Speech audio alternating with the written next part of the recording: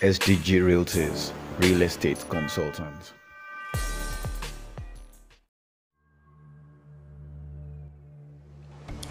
Currently, there's a half plot of land available at Alhaji Jubril off Esther Ibekwe Street, Bucknor, Lagos. This property is located at Sewage Estate, Bucknor, Isheri, Ijegun, Lagos.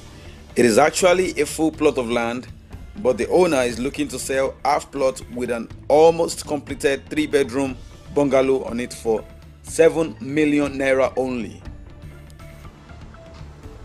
The neighborhood is secured by a local security outfit.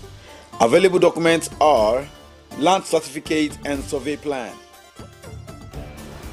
This land can comfortably seat two of three bedroom bungalows. This will generate 1.2 million naira in rental income annually. In six years, you have gotten back your investment on the land. The neighborhood enjoys steady electricity, making it a good site to have a mini factory like a block industry.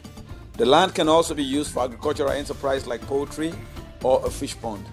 It has good road network linking to Oshodi and the Murtala Mohammed International Airport, which are both one hour drive away.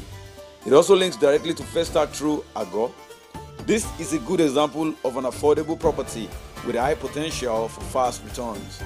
Don't miss out on this investment opportunity.